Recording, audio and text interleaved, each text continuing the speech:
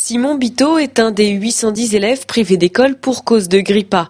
À Saint-Nicolas-de-Tifauge, son collège, 80 élèves étaient malades lundi. Simon en faisait partie. Je me suis réveillé, puis ben, j'avais mal à la gorge et puis ben, un peu de fièvre. Je me suis dit que c'était juste un mal de gorge et tout. Et euh, ben, ça a passé le matin, et puis ben, c'est euh, le midi. Avant d'aller manger, ben, j'avais froid euh, dans, la, dans la classe. Alors, ben, enfin, je me suis dit là, ça va pas du tout. Finalement, après un passage à l'infirmerie, Simon est renvoyé chez lui. Il présente des symptômes qui ressemblent à la grippe A.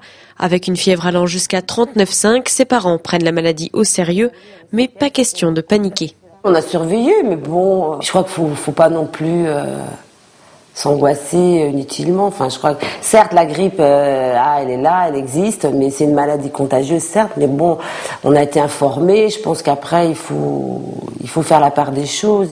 Comment ça va aujourd'hui? Mieux oui. Aujourd'hui, Simon va mieux, son école est toujours fermée.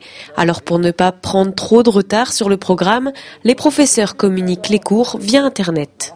Il y a un lien où on peut mettre, euh, où, il peut, où les professeurs ils mettent tous les comptes rendus des cours qu'ils ont fait la journée. Et là, ben, par euh, là, ils donnent des, euh, des leçons. Là, c'est un mot creusé que je viens de recevoir via Scolafo par un professeur que je dois réaliser. Quelques devoirs, mais ce n'est pas suffisant pour occuper le collégien qui commence à trouver le temps long.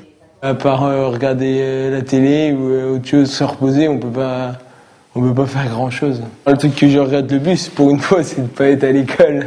Encore quelques jours d'attente, le collège Saint-Nicolas devrait rouvrir ses portes mardi prochain, en espérant que les absents soient moins nombreux.